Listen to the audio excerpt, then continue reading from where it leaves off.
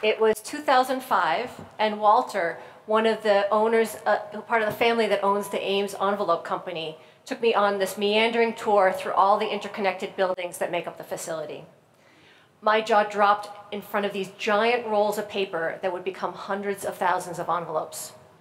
And we shouted over the clanging machines as we passed among the lanes of ladies who were overseeing the cutting and folding of a seemingly endless stream of manila filing folders. Ames was the biggest employer in the city, but in our new digital world, people weren't cranking through the reams of paper like they used to. Walter wanted to brainstorm reuse of a crazy big space like this. A couple years ago, the last of the Ames operations moved south, and the place went silent. But over the last couple years, piece by piece, this space is refilled with pretty much the kind of crazy cool things that Walter and I talked about that day. First, it was a silkscreen company, an engineering firm, a guitar builder. Then the Artisan's Asylum with their shared shops and 140 studios. Greentown Labs with their innovative entrepreneurs.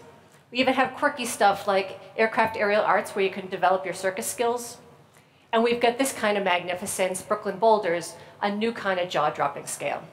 It's incredibly amazing that today more people come here to pick up a paycheck than during the best years of Ames Envelope. Unfortunately, industrial spaces like this are endangered in America's downtowns. In communities where we're longing for a more pedestrian-oriented environment and where there's a great desire for more housing, it's hard to make a case for factories and old garages. But I say if we're to keep the souls of our cities, we need to keep our cities gritty. Now here in Somerville, we're looking back to the glory days of the city, to the early 1900s, when the trolley cars stopped over 100 times each day, filled with commuters and shoppers. Like other communities around the country, we're aspiring to a, a neighborhood where you can live, work, and play all without getting into a car. There's all kinds of goodness from this, whether it's environmental sustainability or economic vitality.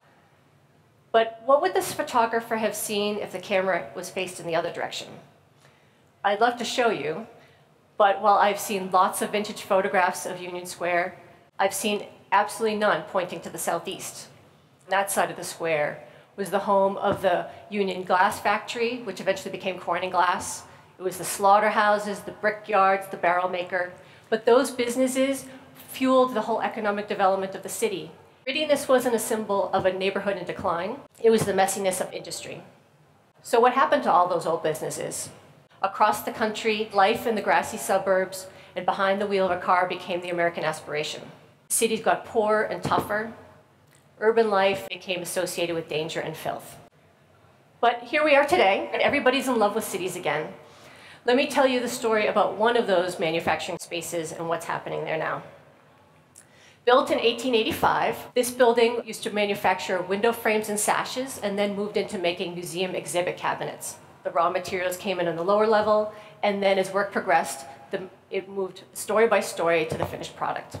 Over the years, there's been numerous other businesses in that uh, space, but most notably several generations of bicycle builders, including Merlin, Independent, and Fat City.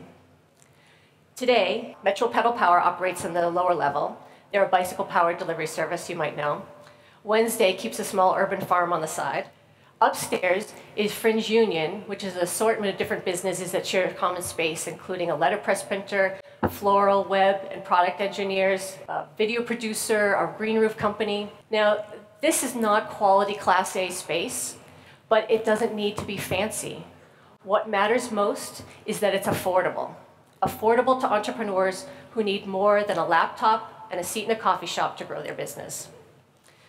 But in communities like this, where it's only a 15 minute walk to Harvard University, when it's just one minute to a sweet downtown with bars and shops and restaurants, when there's a new transit station rumbling in in the future just a block away, it's the location that holds the value more than the building itself.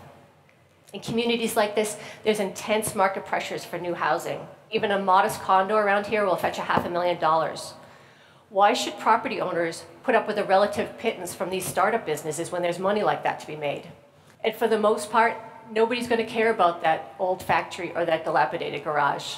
All across the country, we're seeing this happen as our magnificent old mill buildings will never rumble again with opportunity because behind those windows, there's open concept living rooms.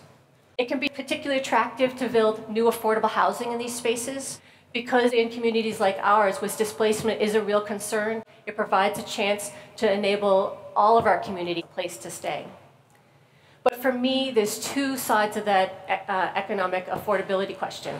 On one side, we do need more housing, but on the other side, we need jobs at a range of skill levels that provide good wages. Greediness equals opportunity. If you're working in an unskilled job, you're in a restaurant kitchen or behind a cash register with little chances for advancement. On the greedy side of Union Square, you're making twice the annual wages. In Massachusetts, 60% of the people in manufacturing don't have a bachelor's degree. Grittiness equals opportunity for all kinds of creative endeavors and entrepreneurs. It's where connections are made, ideas bubble. There's some urgency to this love of grittiness. It's like a public park or an open space.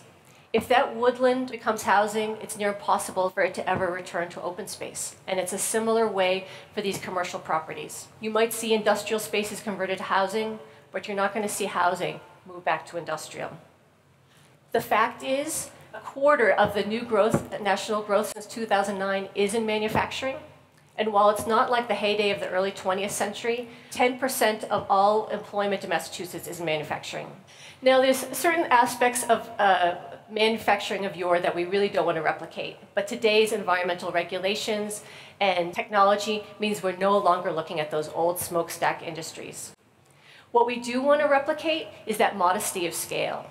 We're talking about what's appropriate here, which is typically one or two buildings tucked in right among the places to live. The urban activist Jane Jacobs from the 1960s said, new ideas need old buildings. Every house needs that scrappy space where you can fix stuff, store your tools, and keep that thing you know you're going to need someday. Every theater needs a backstage where the sets and the costumes are stored before the magic of the show. And cities need their greedy spaces too. And that's the challenge for our generation. How can we look at something humble, unassuming, maybe even decidedly unattractive, and not seek to transform it, but to put it back to work? Thank you.